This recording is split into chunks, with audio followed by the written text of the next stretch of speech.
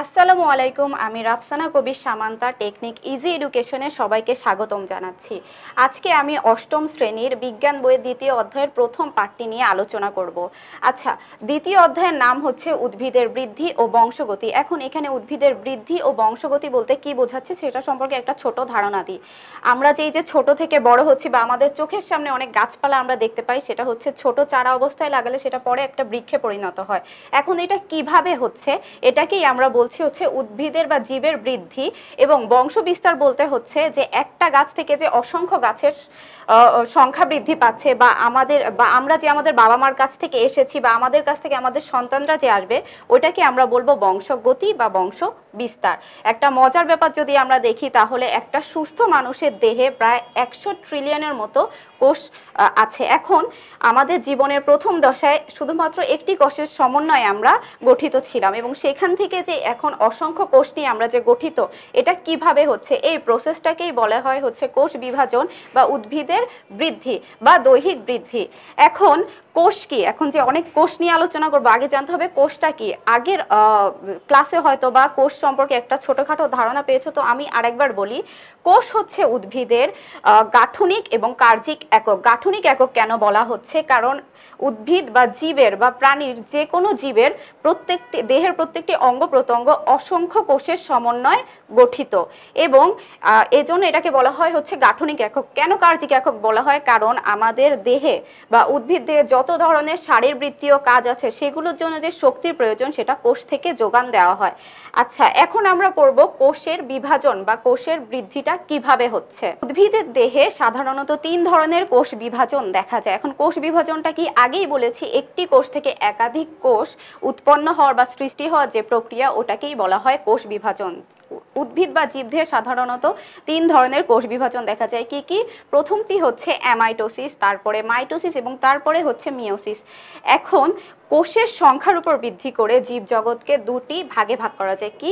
প্রথমটা হচ্ছে এককোষী জীব এবং পরেরটা হচ্ছে বহুকোষী জীব। এককোষী জীব হচ্ছে সেগুলো যেগুলো দেহটা একটি কোষ নিয়ে গঠিত এবং বহুকোষী জীব হচ্ছে সেগুলো যাদের দেহের প্রতিটি অঙ্গ প্রত্যঙ্গ এবং দেহ অসংখ্য কোষের সমন্বয় গঠিত। এখন অ্যামাইটোসিস যে বিভাজনটা নিয়ে আলোচনা করব, সেটি সাধারণত এককোষী জীবে হয়ে থাকে। এককোষী জীবের মধ্যে যেমন আছে ব্যাকটেরিয়া, ইস্ট, ছত্রাক ইত্যাদি। এখন দেখব যে অ্যামাইটোসিস কোষ বিভাজনটা কীভাবে হয়?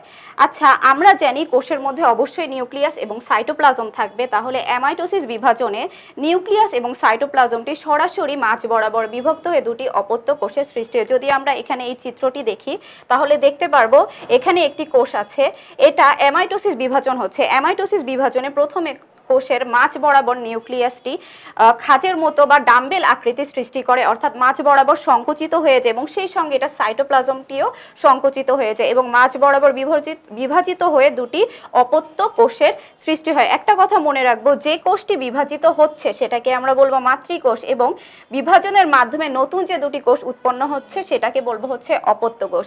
মাতৃকোষে ইংরেজিতে বলা হয় মাদার সেল এবং উৎপন্ন অপত্য দুটি কোষকে বলা হয় হচ্ছে ডটার সেল কেন ডটার সেল বলা হচ্ছে? ডটার সেল বলা হচ্ছে এজন্যই কারণ কোনো একটা পর্যায়ে দেখা গেল এ দুটো কোষও বিভাজিত হবে এবং দুটো করে নতুন কোষ উৎপন্ন করবে। এজন্য এদেরকে বলা হয় হচ্ছে ইংরেজিতে ডটার সেল আচ্ছা এটা ছিল অ্যামাইটোসিস কোষ বিভাজন। আবার বলছি অ্যামাইটোসিস কোষ বিভাজন কোথায় হয়? এককোষী জীবে হয়ে থাকে, যেমন ইস্ট ব্যাকটেরিয়া ইত্যাদি। এটা অ্যামাইটোসিস কোষ বিভাজনের মাধ্যমে কি করছে? এদের দৈহিক বৃদ্ধি হচ্ছে না, এরা অ্যামাইটোসিস কোষ বিভাজনের মাধ্যমে নিজেদেরকে সংখ্যায় বৃদ্ধি করছে। আচ্ছা এর পরের যে বিভাজন দুটো সেটা হচ্ছে মাইটোসিস এবং মিওসিস আগেই বলেছি, অ্যামাইটোসিস কোষ বিভাজনটি হচ্ছে এককোষী জীবের দেহে হচ্ছে এবং এটাকে বলা হয় প্রত্যক্ষ কোষ বিভাজন। কেন বলা হয়?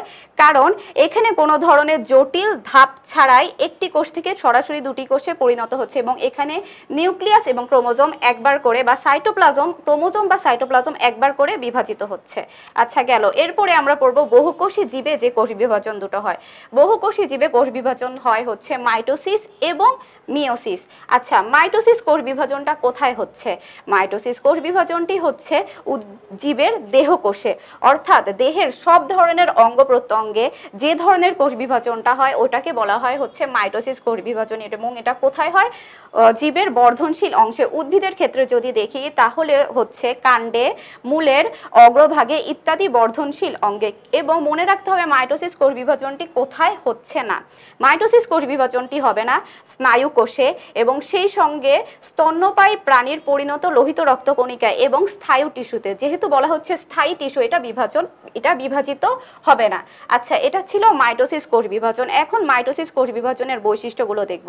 মাইটোসিস কোষ বিভাজন কোথায় হয়? আগেই বলেছি, মাইটোসিস কোষ বিভাজন হচ্ছে দেহ কোষে।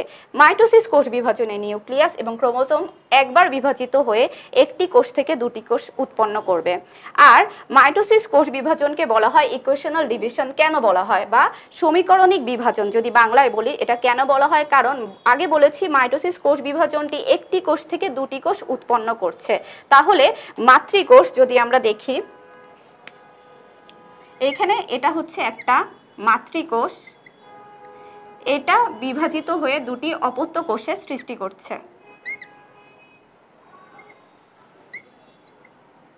মাতৃকোষে যদি ক্রোমোজোম সংখ্যা টুয়াইস এন থাকে, তাহলে অপত্য দুটো কোষেই ক্রোমোজোম সংখ্যা হবে টুয়াইস এন অর্থাৎ যদি আমরা বলি তাহলে মাইটোসিস কোষ বিভাজনে মাতৃকোষ বিভাজিত হয়ে সমান সংখ্যক সমগুণ সম্পন্ন এবং হচ্ছে সমান বৈশিষ্ট্য সম্পন্ন দুটি অপত্য কোষের সৃষ্টি করবে। অর্থাৎ মাতৃকোষে যে সকল গুণাগুণ ছিল, ওই সকল গুণাগুণ এটার অপত্য কোষ দুটোতেও থাকবে। এজন্য এটাকে বলা হয় ইকুয়েশনাল ডিভিশন এবং এখানে নিউক্লিয়াস একবার এবং ক্রোমোজোম একবার বিভাজিত হবে। আবার বলছি মাইটোসিস কোষ বিভাজনকে বলা হয় ইকুয়েশনাল ডিভিশন এটা কোথায় হয়? এটা হয় দেহ কোষে দেহকোষ যদি উদ্ভিদের ক্ষেত্রে বলি, তাহলে কোথায় হচ্ছে? বর্ধনশীল অঙ্গে, যেমন কাণ্ড, মূলের অগ্রভাগ ইত্যাদি। কোথায় হবে না?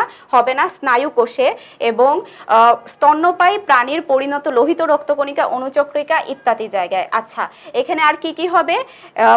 মাইটোসিস কোষ বিভাজনে মাতৃকোষ থেকে দুটি অপত্য কোষ সৃষ্টি হবে। কীভাবে নিউক্লিয়াস একবার ক্রোমোজোম একবার বিভাজিত হয়ে এবং অপত্য কোষে ক্রোমোজোম সংখ্যা এবং এর গুণাগুণ মাতৃকোষের ক্রোমোজোম সংখ্যা এবং গুণাগুণের সমান হবে। এটা ছিল মাইটোসিস কোষ বিভাজন এখন আসব মিওসিসের বৈশিষ্ট্যগুলো নিয়ে আলোচনা করব। আচ্ছা মিওসিস কোষ বিভাজন মিওসিস কোষ বিভাজনটা কোথায় হচ্ছে? মিওসিস কোষ বিভাজনটা হচ্ছে জনন মাতৃকোষে। জনন মাতৃকোষগুলো কোথায় থাকে? জনন মাতৃকোষগুলো থাকে হচ্ছে আমাদের জননাঙ্গে। কিন্তু আমাদের জননাঙ্গের যেই সৃষ্টিটা, সেটা কিন্তু হচ্ছে মাইটোসিস বিভাজনের মাধ্যমে। কারণ ওটা একটা দেহকোষের কিন্তু অঙ্গ আর কি অংশ। আচ্ছা মিওসিস কোষ বিভাজন কোথায় হচ্ছে? আগেই বলেছি জনন মাতৃকোষে। জনন মাতৃকোষে মিওসিস বিভাজনের মাধ্যমে জনন কোষ উৎপন্ন হয়। জনন কোষ কোনগুলো? জনন কোষ হচ্ছে পুং এবং স্ত্রী গ্যামিট মিওসিস কোষ বিভাজনে কি হচ্ছে? মিওসিস কোষ বিভাজনে একটি কোষ থেকে চারটি অপত্য কোষের সৃষ্টি হচ্ছে। অর্থাৎ মিওসিস কোষ বিভাজনে মাতৃকোষের সংখ্যা একটি, কিন্তু অপত্য কোষের সংখ্যা হচ্ছে চারটি। অপরদিকে যদি আবার মাইটোসিস আমরা দেখি, সেখানে কিন্তু একটি মাতৃকোষ থেকে দুটি কোষের সৃষ্টি হবে। আচ্ছা মিওসিস কোষ বিভাজনে নিউক্লিয়াস পরপর দুইবার এবং ক্রোমোজোম একবার বিভাজিত হবে। আবার বলছি মিওসিস কোষ বিভাজনে নিউক্লিয়াস পরপর দুবার এবং ক্রোমোজোম একবার বিভাজিত হবে। মিওসিসকে বলা হয় রিডাকশনাল ডিভিশন। কেন বলা হয়? কারণ মিওসিসে ক্রোমোজোমের সংখ্যা, অর্থাৎ মাতৃকোষে যদি টুয়াইস এন সংখ্যক ক্রোমোজোম থাকে মিওসিসে যেহেতু এখানে চারটা কোষের সৃষ্টি হবে, এটা কীভাবে হবে? প্রথমে একটি থেকে দুটি, তারপরে দুটি থেকে আবার চারটি কোষের সৃষ্টি হবে। এখানে দেখতে পাচ্ছি যদি মাতৃকোষে টুয়াইস এন সংখ্যক ক্রোমোজোম থাকে, কিন্তু অপত্য কোষে ক্রোমোজোম সংখ্যা অর্ধেক হয়ে আসছে এন সংখ্যক, এই জন্য এটাকে বলা হয় রিডাকশনাল ডিভিশন বা হ্রাসমূলক বিভাজন। এই ছিল মিওসিস বিভাজন। আবার বলছি মিওসিস বিভাজনটা কোথায় হচ্ছে? মিওসিসটা হচ্ছে জনন মাতৃকোষে, অর্থাৎ জনন মাতৃকোষ থেকে জনন কোষ উৎপন্ন হওয়ার সময়। জনন কোষ হচ্ছে পুংগ্যামিট ও স্ত্রী গ্যামিট আমরা যদি আবার দ্বিতীয় অধ্যায়ের পর পার্ট একটা যদি আবার শুরু থেকে একবার রিভিউ করি তাহলে দেখতে পারব, আমি আলোচনা করেছি প্রথমে কোষ বিভাজন নিয়ে। কোষ বিভাজন কি? কোষ বিভাজন হচ্ছে একটি কোষ থেকে অসংখ্য কোষ বা একটি কোষ থেকে একাধিক কোষ উৎপন্ন হওয়ার যে প্রক্রিয়াটি, এটাকেই বলা হয় কোষ বিভাজন। জীবদেহে সাধারণত তিন ধরনের কোষ বিভাজন দেখা যায়, কি কি? অ্যামাইটোসিস, মাইটোসিস এবং মিওসিস আচ্ছা অ্যামাইটোসিসে কি হচ্ছে? অ্যামাইটোসিসে নিউক্লিয়াস একবার এবং ক্রোমোজোম একবার বিভাজিত হচ্ছে এবং একটি কোষ থেকে দুটি অপত্য কোষের সৃষ্টি হচ্ছে। একে বলা হয় প্রত্যক্ষ কোষ বিভাজন। কেন বলা হয়? কারণ এখানে কোনো মাঝখানে কোনো কঠিন বা জটিল ধাপ ছাড়াই একটি কোষ থেকে সরাসরি অপত্য দুটি কোষের সৃষ্টি হচ্ছে। একটি মাতৃকোষ থেকে মাঝখানে ডাম্বেল আকৃতি সৃষ্টি করে, অর্থাৎ খাজের সৃষ্টি করে নিউক্লিয়াস এবং সাইটোপ্লাজম আলাদা হয়ে দুটি অপত্য কোষের সৃষ্টি করছে এবং যে কোষটা বিভাজিত হচ্ছে সেটাকে বলব মাতৃকোষ এবং অপত্য দুটি কোষকে, অর্থাৎ সৃষ্ট নতুন দুটি কোষকে বলব হচ্ছে অপত্য কোষ। আচ্ছা তারপরে ছিল মাইটোসিস বিভাজন। মাইটোসিস বিভাজনে কি হবে? মাইটোসিস বিভাজনেও নিউক্লিয়াস একবার এবং ক্রোমোজোম একবার বিভাজিত হবে। এবং মাতৃকোষের সমগুণ সম্পন্ন এবং সমান সংখ্যক ক্রোমোজোম সম্পন্ন দুটি অপত্য কোষের সৃষ্টি হবে। মাইটোসিস কোষ বিভাজন কোথায় হবে? জীবের দেহ কোষে হবে। এরপরে ছিল হচ্ছে মিওসিস কোষ বিভাজন। মিওসিস কোষ বিভাজনে নিউক্লিয়াস পরপর দুইবার এবং ক্রোমোজোম একবার বিভাজিত হবে এবং মাতৃকোষের ক্রোমোজোম সংখ্যা অপত্য কোষের ক্রোমোজোম সংখ্যার অর্ধেক হয়ে যাবে এবং একটি মাতৃকোষ থেকে চারটি অপত্য কোষের সৃষ্টি হবে। মিওসিস বিভাজনটা হয় হচ্ছে জনন মাতৃকোষে, অর্থাৎ জনন মাতৃকোষ থেকে জনন কোষ উৎপন্ন হওয়ার সময় মিওসিস কোষ বিভাজনটি হয়। জনন কোষগুলো কি কি? জনন কোষ হচ্ছে পুংগ্যামিট এবং স্ত্রীগ্যামিট আবার বলছি, অ্যামাইটোসিসটা হচ্ছে এককোষী জীবে হবে, যেমন ব্যাকটেরিয়া, ছত্রাক এবং মাইটোসিস এবং মিওসিস হবে বহুকোষী জীবে, যেমন মানুষ যে কোনো প্রাণী, উদ্ভিদ। এখন যদি আমরা মাইটোসিস বিভাজন এবং মিওসিস বিভাজনকে পাশাপাশি রেখে দেখি, তাহলে কিছু পার্থক্য দেখা যাবে এবং এই এই ধরনের পার্থক্য পরীক্ষায় সাধারণত আসে। তাহলে আমি শুরু করি। মাইটোসিস এবং মিওসিস মাইটোসিস বিভাজনে কি বলেছি? নিউক্লিয়াস একবার ক্রোমোজোম একবার বিভাজিত হয়। অপরদিকে মিওসিস বিভাজনে নিউক্লিয়াস পরপর দুবার এবং ক্রোমোজোম একবার বিভাজিত হবে। মাইটোসিস বিভাজনটি হবে উদ্ভিদের বা জীবের দেহকোষে মিওসিস বিভাজনটি হবে জনন কোষে। মাইটোসিস বিভাজনে একটি মাতৃ মাতৃকোষ থেকে অপত্য দুটি কোষের সৃষ্টি হবে, কিন্তু মিওসিস বিভাজনে একটি মাতৃকোষ থেকে চারটি অপত্য কোষের সৃষ্টি হবে এবং মাইটোসিস বিভাজন কোথায় হচ্ছে? উদ্ভিদের বর্ধনশীল অংশে হচ্ছে। যেমন কাণ্ড বা মূলের অগ্রভাগ মানুষের ক্ষেত্রে বা প্রাণীর ক্ষেত্রে তাদের দৈহিক বৃদ্ধির জন্য অর্থাৎ বিভিন্ন অঙ্গ প্রত্যঙ্গে আমাদের স্থায়ী টিস্যু না, যেগুলো ভাজক টিস্যু, সেখানে হচ্ছে মাইটোসিস বিভাজনটি হচ্ছে। মিওসিস বিভাজনটি হবে হচ্ছে জনন মাতৃকোষে, অর্থাৎ জনন মাতৃকোষ থেকে যখন জনন কোষ উৎপন্ন হবে তখন সেখানে হবে মিওসিস বিভাজন, যেমন পুংগ্যামিট, স্ত্রীগ্যামিট। আচ্ছা এখানে অ্যামাইটোসিসের এই ছোটোখাটো যেই একটি কোষ থেকে যে অপত্য দুটি কোষের সৃষ্টি হচ্ছে, এই ছোট চিত্রটাও আসতে পারে এখানে ইম্পর্টেন্ট হচ্ছে মাইটোসিস এবং মিওসিসের বৈশিষ্ট্যগুলো অ্যামাইটোসিসের বৈশিষ্ট্য এবং মাইটোসিস এবং মিওসিসের পার্থক্যগুলো। এই ছিল দ্বিতীয় অধ্যায়ের পার্ট একের আলোচনা। এর পরবর্তী পর্বে আমি পার্ট দুই নিয়ে আলোচনা করব। ততদিন সবাই ভালো থাকবেন, সুস্থ থাকবেন এবং কষ্ট করে আমার ভিডিওটি দেখার জন্য অসংখ্য অসংখ্য ধন্যবাদ। Thank you